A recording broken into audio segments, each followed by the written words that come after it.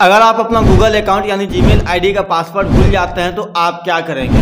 इस वीडियो में जानेंगे कि कैसे अगर आप अपना गूगल अकाउंट यानी कि जीमेल आईडी का पासवर्ड आप भूल जाते हैं तो कैसे आप अपने मोबाइल फ़ोन से ही आप पता कर पाएँगे बिना फॉरगेट किए बिना रिसेट किए कि आपका जो जीमेल आईडी है यानी गूगल अकाउंट है उसका पासवर्ड क्या है। तो चलिए वीडियो कर देते हैं। मैं सोच कुमार और आप सभी का हमारे चैनल में स्वागत है। आप लोग वीडियोज़ को देखते देखते वीडियो को लाइक करना भूल जाते हैं तो इस वीडियो को अभी एक लाइक कर दीजिए। और अगर आप हमारे इस चैनल पर वीडियो को पहली बार देख रहे हैं तो यहाँ पर चैनल को सब्सक्राइब करके बेल आइकन ऑल पर क्लिक करके इस वीडियो को अपने दोस्तों के साथ और भी लोगों के साथ ज़रूर शेयर करें ताकि उन लोगों को भी पता चल सके। तो आपको करना क्या है? आपको सेटिंग्स में आ जाना है और अपने फ़ोन के सेटिंग्स में आ करके आप इस तरीके से नीचे यहाँ पे स्क्रॉल डाउन करेंगे तो देखेंगे आपको एक ऑप्शन मिलेगा पासवर्ड एंड अकाउंट तो आपको इसके ऊपर क्लिक करना है। और जैसे आप इसके ऊपर क्लिक करते हैं इस तरीके से यहाँ पर देखेंगे आपको एक गूगल करके एक यहाँ पर मिलेगा ऑप्शन आपको इसके ऊपर क्लिक करना है। आप इसके ऊपर भी क्लिक कर सकते हैं। अगर यहाँ पे अकाउंट आपका शो नहीं होता है, जिससे बैक आप आएँगे तो यहाँ पे देख सकते हैं सर्च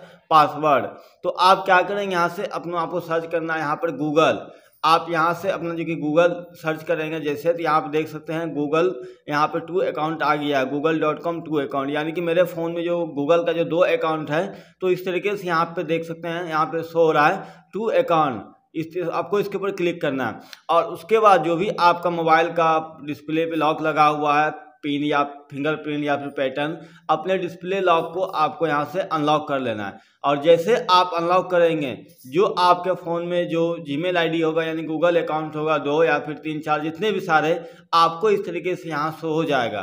तो देख सकते हैं, जैसे यहाँ पर मेरे फ़ोन में दो गूगल अकाउंट है, एक राकेश कुमार करके, एक संतोष कुमार करके तो ये मेरा ईमेल आईडी यहाँ पर शो हो रहा है। और यहाँ पे अगर आप पासवर्ड देखना चाहते हैं इसका तो ये जो यहाँ पर आई वाला जो यहाँ पर ऑप्शन है, आप जैसे आप इसके ऊपर क्लिक करते हैं इस तरीके से तो आपका जो है यहाँ से पासवर्ड शो हो जाएगा। तो इस तरीके से आप अपने फ़ोन से ही अपना गूगल अकाउंट का पासवर्ड देख सकते हैं। आपको फॉरवर्ड करने की या फिर रिसेट करने की ज़रूरत नहीं है।